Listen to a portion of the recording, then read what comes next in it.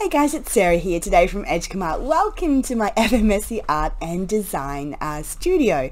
Today what we're going to be doing is I'm going to be doing a graphic design tutorial looking at Inkscape. We're going to be putting text along a wavy line and we're also going to be adding that text into our heart shape that we created in the last tutorial. Don't worry, I will very quickly go back over how to do that again. For those of you that don't know me, hi, welcome to the channel. Um, I post about print on demand and graphic uh, software tutorials and also fabric design and surface repeat patterns. I do a lot of fabric printing and that works quite well with my print on demand that I use to make a little bit of extra pennies from home. So if these things are your jam, please subscribe. It really helps out my channel if you give it a like or a subscribe. Just a quick little mention, I've had quite a few people this week, like probably five or six of you now, who wanted me to do a tutorial on uh, making fabric designs that have a border on them. And I am going to be doing a tutorial on that soon. I just need to wait for a fabric delivery uh, to come so I can check the quality of my new print shops before I uh, give anyone any recommendations for that. Even though it won't be a border fabric that's coming, at least I might be able to have some answers for you on those questions. I have done a couple of these in the past and it's certainly also useful for Redbubble um, or other print on um, print on demand um, options because you can create a non-seamless pattern for your um, you know quilts and things over on Redbubble. And so that's actually going to be quite handy for that as well. So there will be a bit of crossover. Uh, so I'll be doing that in the next week or so. So um, please please stay tuned for that. Anyway let's get into the tutorial looking at the text on the wavy line and also putting a, a word inside a shape Alright guys, so here we are over in Inkscape. For those of you that don't know, Inkscape is a free program that you can use to do um, graphic design in, which is fantastic and I use it for quite a lot of things. So today we are going to be putting text on a wavy line and also putting some text inside a shape you can see here. Um, last lesson I was showing you how to create the heart shape itself and we're going to start very quickly with that. So what you want to do is make it a square. You want that square, hang on, let's get that right on out the way. It needs to be the same uh, height and width. So I'm just, doesn't matter what measurements it is, you can be working in millimeters, pixels or whatever, but obviously if you're needing it to export, you're going to need to make sure you're doing it roughly in the right size that you need. So you need a square, which I have made um, 300 by 300 millimeters and you also need your circle to be exactly the same. So we're going to go 300 um, by 300 and we want to select so um, I'll make sure I'm not in the way. So shift click on the circle and hold it down for the square and you want to change both of them path object to path otherwise this bit won't work. Um, and then you just want to select your circle and when it snaps uh, custom node there we go that's what you want Oh, I have stroke on here. Let's get rid of that. So I'm just going to select probably both of these and go to fill in stroke. And yes, I have my um, uh, stroke set and I do not want a stroke on those. That's just the border um, around the outside and I don't want that at all. And oh, no, just because I really hate that color. That's really disgusting. Let's change that there. Okay, and I am going to um, path and union those and that just joins those two shapes, uh, joins those two shapes together. And then control D which is control duplicate and then you can spin it around using this little arrow button up there or you can move it around up to you and we're just going to snap those together they should go together really nicely and select both those and I'm actually just going to um, union those while I am there. And then you can click on it um, and hold the control and see these other arrows turn up and you can spin that round to the front like that. Now we're going to need to put in our uh, stroke uh, paths on here. So on fill and stroke and you can click onto here. You're going to want to change the stroke paint here to actually having a stroke paint. Stroke style, you're going to want, um, I think was it about seven? Let's just go with seven um, on that. I think these ones might be a little bit thinner, but that's okay. We can go with that. Um, and we're also going to go to fill and we're going to remove the color from the, um, the center there. So don't just color it white, otherwise you're going to end up with a non-transparent design when you are um, uh, wanting to export that and that's probably not the look that you're looking for. Okay, so now we have our shape. We are going to change that, make sure that is a um, path effects. Now we're going to choose our text. So I'm going to be extremely original here and going to go with go with that.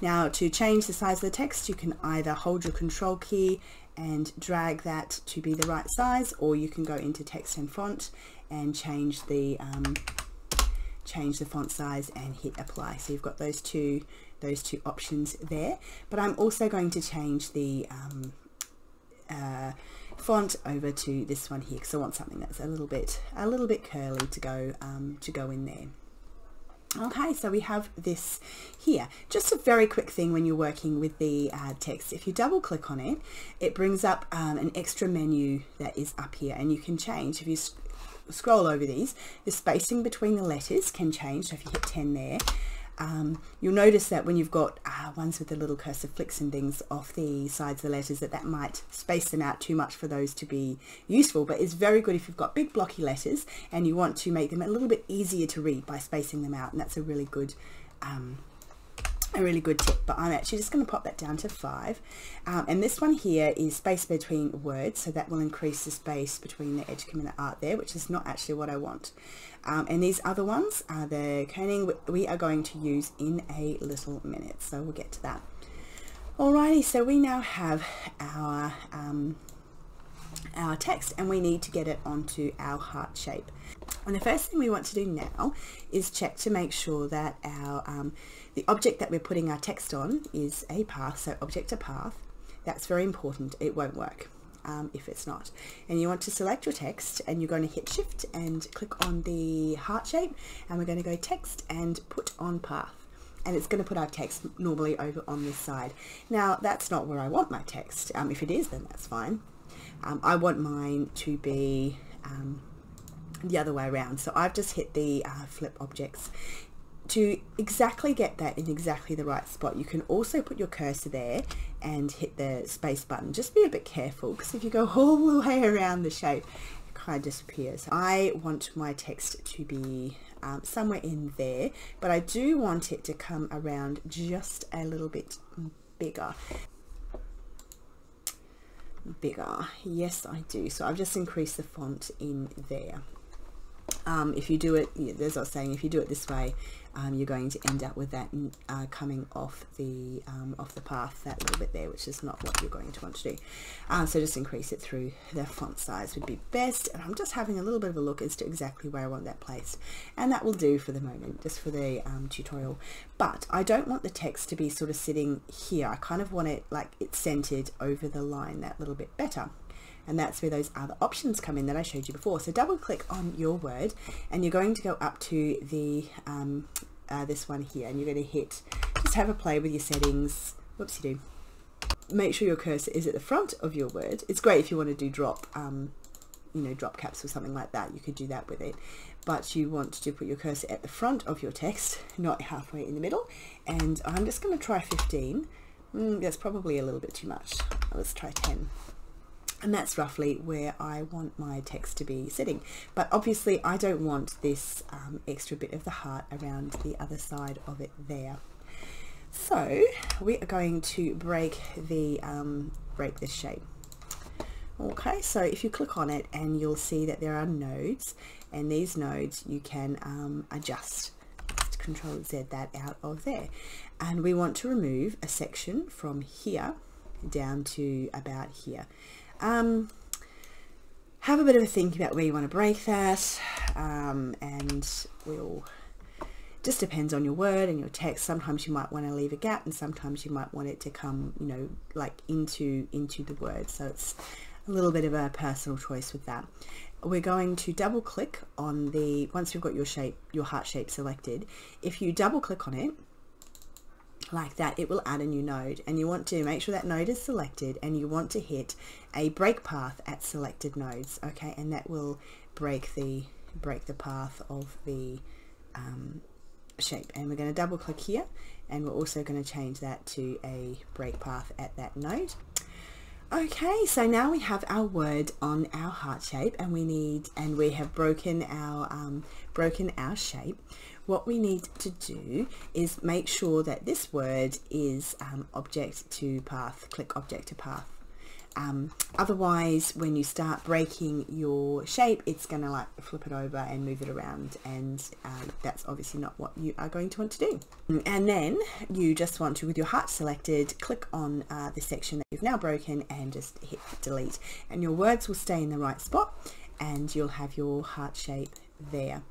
Uh, now there's a couple of things here that I have uh, selected. So this is randomly coming in a really nice little wee spot and actually I quite like where that is as well. You can,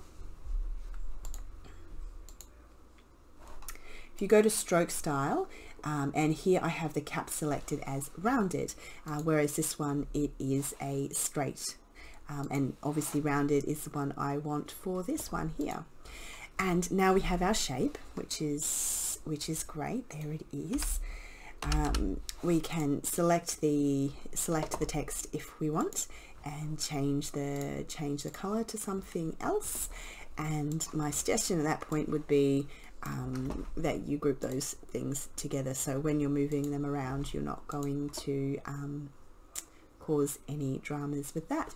And that's how you create your little shape with your text in it. It's not too hard and obviously if you wanted to you could create your um, heart shape you know to put something else in there. Alrighty so that's that there. And you have your little wee um, little wee heart shape that you can pop in. Um, okay. Um, and there we have it. So um, that is our little heart shape from yesterday and it's in our new heart shape with the text around it. Um, so very quickly, text on a wavy line, that's really easy as well. So we're going to go over here to the um, draw Bezier curves and straight lines. I'm just going to click on that one. I might just move this down so you can see it a little bit. And I'm just going to add in um, a couple of those. Now these are um, pointed and we want them wavy. So if you just click on that little we know there and I'm just going to change that to a, a rounded one. So same here. Um, just to make sure that that's sort of roughly where I want it and you can um, change those around. Uh, you can move the handles as well if you wanted to um, just to make that the way um, exactly where you want it to be. I'm not quite sure exactly what I did up there. Okay, I put that one back down again. Um, let's make this a wavy one just like that and then you get your text uh, putting text on a wavy line is nice and easy going to hit enter, um, go to text and font because obviously I really can't see that. We're going to hit 200 and apply. Oh, look, I managed to spell everything right. Okay, and then we are going to, you can double click on it and do those changes to the, you know, the text if you want to. And I'm going to increase the size of that up just a smidgen as well and hit apply um, just to pop that over on this line. Now this line here, let's go and have a look. I want to make that a little bit bigger, so I'm just going to change the width up. Let's change it again. Let's change it to 10. Um, hit enter and I'm also going to change that color to oh that's not what I want to change it to I want to change the that's one way of putting the colour in underneath. That's what I was going to do before. But let's just change the stroke paint over to another colour. Um, let's put it as a a pinky colour. There we go. Done. And I am going to remove the fill from underneath there because that's not what I wanted to do um, and then to put the text on the wavy line is exactly the same as what we did before. Oh, let's just change the let's just change the font very quickly um, over to impact. There we go. Um, and that's a really good one to show you that you might want to increase the distance between the uh, letters there. I find that quite handy for the quite chunky, quite chunky letters. Oh, and is my voice really starting to go again? okay, sorry, I have been sick these last couple of days. Uh, now you select your wavy lines and you select your um, path that you've got there and you're going to go text and put on path and there you have it. Um, if you want to increase that font size up to 300 let's do that and that will move it along a little bit um, with this particular text I would probably also um, increase the space between the words as well and that should make that easier a little bit easier to read. And let's just increase that up just a smidgen more. And if you want to center that that little bit more you could put a couple of spaces in the front there. And that is how you put text on a wavy line. It's not very difficult. Alrighty so there you go. Um, text on a wavy line nice and simple. Create your shape uh, create your words and then um, hold down select your text and uh, shift and select your line and you're just going up to text put on path. Um, and with your shape up here very similar thing create your heart shape or whatever shape it might happen to be and then you create your text. Make sure your shape is a path and then you select your text and uh, select your object and you go um, um, object to path. And that's how you do it. It's nice or text to path and it's nice and easy. I hope that is helpful and I'm sorry my voice is finally deciding to give out this morning the next little tutorial that I'm going to be doing is going to be looking at putting text inside a shape where you want to manipulate the shape of the text. So obviously this originally was a, um, a leg and I wanted to put in some text into it. Uh, you could do that say like with a rolling pin or an arrow. I will be doing an arrow actually as the introductory example for that and just showing you how to bend um, bend text around objects. Alrighty, anyway, thanks for watching. Please subscribe and leave any comments if there's anything in particular uh, you want to know how to do. I actually have a fairly big list um, from requests from people, so um, see how we go. But do leave um, any requests if there's anything else I can help you with. And I'm going to go, and I think I really need a cup of tea. thanks for watching, guys.